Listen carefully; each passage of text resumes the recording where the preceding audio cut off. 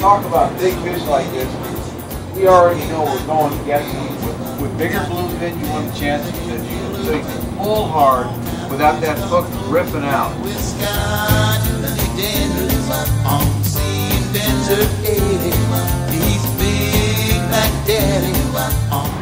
Bait tuna. Very, very large no, tuna. not bait at all, Gary.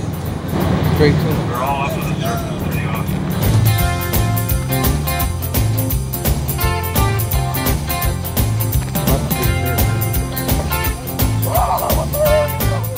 Well, we hooked into some bluefin tuna earlier this morning and they were pretty good. They're about 30 to 40 pounds.